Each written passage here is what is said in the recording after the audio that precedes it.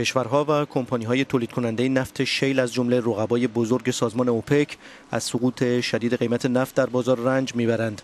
بر اساس گزارش ها حدود یک سوم شرکت هایی که در سال 2015 موفق به بازپرداخت بدهی های خود نبودند کمپانی های فعال در بخش تولید نفت شیل هستند هزینه تولید این شرکت ها بالاتر از قیمت نفت در بازار است از سوی دیگر اوپک برای رقابت با شرکت و کشورهای تولید کننده نفت شیل و برای از دست ندادن سهم خود در بازار سطح تولید نفت خود را کاهش نمی دهد.